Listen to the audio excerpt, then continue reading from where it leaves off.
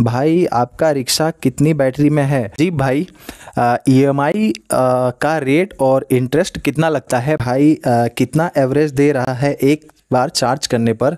So hello everyone कैसे आप लोग गाइज़ आ गया हूँ एक और नई वीडियो लेकर जो कि होने वाली है आज की क्यू एन ए तो गाइज़ जो भी आपने मुझे अच्छे अच्छे कमेंट किया है उसका मैं आज जवाब देने वाला हूँ। और गाइज़ अगर वीडियो अच्छी लगे तो चैनल को सब्सक्राइब करें वीडियो को एक लाइक करें और एक प्यारा सा कमेंट करें। तो चलिए वीडियो को स्टार्ट करते हैं। सो so गाइज़ नंबर एक पे है शिवम भाई जो कि बोल रहे हैं आप बहुत मेहनती हो। हाँ भाई मेहनत तो करनी पड़ती है यार मेहनत नहीं करेंगे तो आ, जो हमारा काम है वो कैसा चलेगा, घर कैसा चलेगा, इसलिए मेहनत तो करना पड़ता है। तो गाइज़ सेकेंड नंबर पे ये भाई हैं। जय, जयराज। जयराज भाई पूछते हैं कि भाई कितना एवरेज दे रहा है एक बार चार्ज करने पर? तो भाई आपको बता दूँ यार, एक बार चार्ज करने पे जो अगर नई बैटरी है तो 110-20 किलोमीटर का एवरेज दे देता है। और इससे पहले मेरी जो पुरानी बैटरी थी, वो मुझे 70-80 का ही माइलेज दे रहा था। और क्योंकि लोडिंग का काम करता हूँ लोडिंग में बैटरी कुछ ज़्यादा ही ड्रेन होता है जल्दी। और गाइज़ अभी मैंने बैटरी चेंज कर दी है तो अभी मुझे अच्छा खासा माइलेज मिल रहा है। अभी भी मुझे सौ किलोमीटर, एक सौ दस किलोमीटर लोडिंग पर भी माइलेज मिल रहा है। तो गाइज़ आपने अगर मेरी वीडियो देखी नहीं है, जिसमें मैंने बैटरी चेंज किया है तो गाइज़ डिस्क्रिप्शन में लिंक डाल दूँगा, वहाँ जाके आप वो वीडियो देख सकते हैं। तो चलिए नंबर तीन पे आगे बढ़ते हैं। नंबर तीन पे भी सेम जयराज भाई का ही क्वेश्चन है, उसकी कीमत क्या है फाइनेंस किस्त में कितने में पड़ता है? तो भाई, आपको बता दूँ कीमत है डेढ़ लाख रुपए, और जो इसकी किस्त है, वो करीब सात साढ़े सात हज़ार रुपये आता है और आ, कुल मिला के आपको दो लाख प्लस का पड़ जाता है। तो चलिए गाइज़ चौथा नंबर देखते हैं। चौथे नंबर पे राजेश महेश्वरी भाई लिखते हैं टारजन का लोहा है इसलिए गल गया। हाँ तो हाँ भाई ऐसी कोई बात नहीं है यार क्योंकि आ, मैं लोडिंग का काम करता हूँ और आ, जो मैं पीओपी लेके जाता हूँ वो भाई उसमें जंक बहुत जल्दी लगता है यार इसीलिए गल गया और टार्जन का लोहा है इसलिए नहीं गल गया। तो चलिए अब आगे बढ़ते हैं।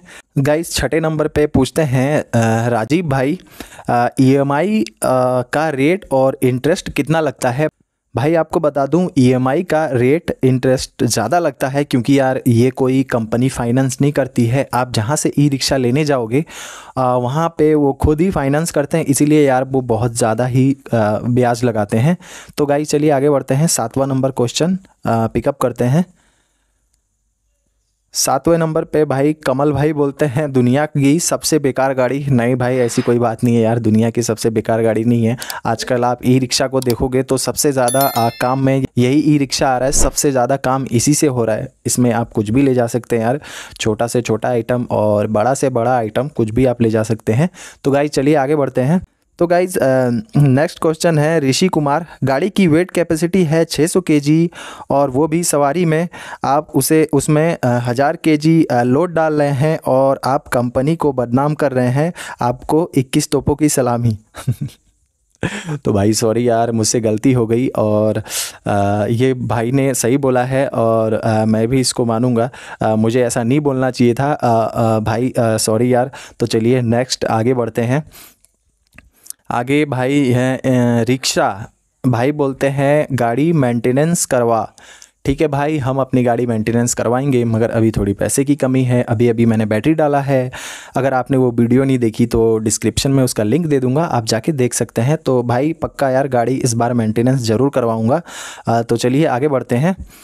आगे भाई हैं सुनील प्रधान। भाई बोलते हैं कि मैं उड़ीसा का हूँ। तो भाई बहुत बहुत धन्यवाद यार, आपने कमेंट किया और चैनल को भी सब्सक्राइब किया है और मेरी वीडियोस भी आप रेगुलर देखते होंगे। तो भाई, उसके लिए बहुत बहुत धन्यवाद। और मैं हूँ उत्तराखंड से। उत्तराखंड के एक छोटे से गाँव से बिलोंग करता हूँ। तो भाई, चलिए आगे बढ़ते हैं। आगे जनरल नॉलेज भाई बोलते हैं कि कितना पुराना है भाई? भाई बता दूँ आपको कि मुझे इस ई रिक्शा को लिए ढाई साल से ज़्यादा हो गया है। तो चलिए आगे नेक्स्ट क्वेश्चन पे। आ, सेम भाई पूछते हैं जनरल नॉलेज भाई आपका रिक्शा कितनी बैटरी में है? तो भाई बता दूँ जो मेरा ई रिक्शा है वो चार बैटरी में है और चार बैटरी का जो कैपेसिटी मिला के अड़तालीस वोल्ट होता है तो अड़तालीस वोल्ट उसमें करंट जाता है। तो चलिए भाई आगे बढ़ते हैं। राजेश जी पूछते हैं चालान नहीं कटता है ये सब भरने में?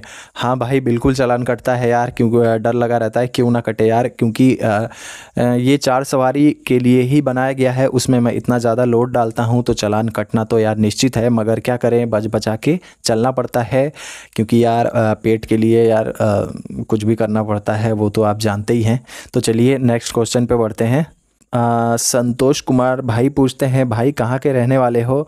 तो भाई, आपको बता दूँ, मैं उत्तराखंड का एक छोटा सा गाँव है झनकैया झनकैया से तीन किलोमीटर और आगे एक बगोलिया गाँव है, वहाँ का मैं रहने वाला हूँ।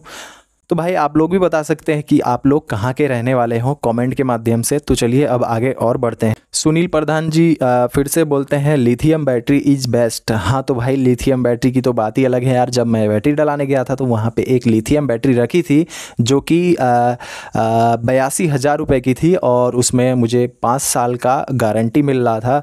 तो भाई उतना पैसा अ, था नहीं मेरे पास इसीलिए मैं उसको डला नहीं पाया। तो चलिए नेक्स्ट क्वेश्चन पे आगे बढ़ते हैं। तो नेक्स्ट क्वेश्चन पूछते हैं मोहम्मद जाकिर भाई। आ, पुराना बैटरी कितने का गया भाई? तो भाई आपको बता दूँ पुराना बैटरी जो था वो एक सौ दस रुपये के जी गया और एक कुंटल आठ किलो हुआ था आ, जो कि यार ग्यारह हज़ार आठ सौ अस्सी रुपये का गया। तो चलिए नेक्स्ट क्वेश्चन पे आगे बढ़ते हैं। नेक्स्ट क्वेश्चन पूछते हैं मायूक भाई। भाई प्लीज़ आप ये न्यू ई रिक्शा का रिव्यू बनाएँ, सम्राट एंड मंजिल का। भाई, और प्लीज़ प्राइस भी बताना। तो भाई ठीक है, मैं ज़रूर एक दिन जाऊँगा और एक अच्छा सा वीडियो शूट करके लाऊँगा प्राइसिंग के साथ में भी और ई एम आई वगैरह सब कुछ मैं आपको क्लियर करूँगा उसमें। तो चलिए नेक्स्ट वीडियो पर आगे बढ़ते हैं। नेक्स्ट वीडियो पूछते हैं सुभाष भाई। भैया जी मैं छत्तीसगढ़ से हूँ मैं आपका वीडियो पूरा देखता हूँ। न्यू ईयर में मुझे भी रिक्शा लेने वाला हूँ। कौन सा ई रिक्शा ठीक रहेगा बताएँ। तो भाई बहुत बहुत धन्यवाद आपका जो आप मेरा वीडियो देखते हैं। तो भाई मैं आपको बता दूँ हमारे यहाँ पे गाइज़ जो ई रिक्शा सबसे ज़्यादा चलता है वो है सिंगम और नेक्स्ट जो चलता है वो है सिटी लाइफ तो भाई आप के वहाँ पे कौन सा ज़्यादा चलता है आ, वो मुझे कमेंट करके ज़रूर बताएँ और अगर सिंघम चलता है तो सिंघम ज़रूर लें, क्योंकि यार सिंघम बहुत अच्छा है और उसकी बिल्ड क्वालिटी भी बहुत बेस्ट है। और उसके बाद अगर सिटी लाइफ मिलता है तो आप सिटी लाइफ भी ले सकते हैं। मैं भी लेने के लिए गया था सिंघम, मगर उस समय अवेलेबल था नहीं और सिटी लाइफ भी नहीं था, इसलिए मैं टार्जन लिया, क्योंकि उस समय टार्जन भी बहुत अच्छा चल रहा था। सो so गाइज़ आपके दिमाग में एक क्वेश्चन चल रहा होगा कि मैं, मेरे पास कौन सा फ़ोन है? मैं कौन से फ़ोन से वीडियोस बनाता हूँ और कौन से सॉफ्टवेयर से एडिट करता हूँ? तो गाइज़ अगर आपको जानना है तो आप मुझे कमेंट में ज़रूर बताना। तो गाइज़ बता दूँ यार जो फ़ोन है वो मेरा है Poco F five five G phone है जो कि मैंने अभी पिछले साल ही लिया था। तो गाइज़ फ़ोन अच्छा है। सो गाइज़ नए हो तो चैनल पर सब्सक्राइब करें वीडियो को एक लाइक करें और एक प्यारा सा कॉमेंट करें। तो चलिए मिलते हैं नेक्स्ट वीडियो पे, तब तक के लिए जय हिंद, वंदे मातरम।